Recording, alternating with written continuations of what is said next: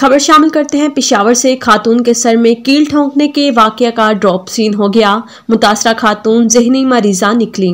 पिशावर में खातून के सर में कील ठोंकने के वाक्य के हकायक सामने आ गए एसएसपी ऑपरेशन हारून रशीद का वाक्य से मुतलिक ब्रीफिंग में कहना है कि चार फरवरी को मुतासरा खातून को हस्पताल लाया गया, जिसके सर में कील ठोंकी गई थी। आठ फरवरी को वाक्य सोशल मीडिया पर सामने आया। अस्पताल और बाजारों कैमरों को चेक किया गया। अस्पताल रिकॉर्ड में नाम के अलावा कोई रिकॉर्ड मौजूद नहीं था। मुतासरा खातून बाज गला और इसके शोहर तक रसाई हासिल की गई। एसएसपी के मुताबिक खातून जहनी मरीजा है और इसने खुद को जख्मी किया। शोहर मुसलसल अपनी बीवी का चेकअप डॉक्टर से करवा रहा है। मुतासरा खातून के शोहर का कहना था कि इसकी बीवी जहनी बीमारी का शिकार है। मुतद बार डॉक्टर के पास ले गया, लेकिन मसला जन्नात का है। वाकई के दिन घर पर नहीं था, जब आया तो बीवी के सर में कील थी।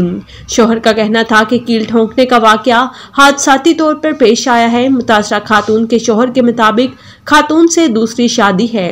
हमारे बच्चों की तादाद ग्यारह है। मुतद बार डॉक्टर के पास ले गया, लेकिन मसला जिन्नात का है। इससे कबल भी खातून को तीसरी मंजिल से जिन्नात ने फेंका था।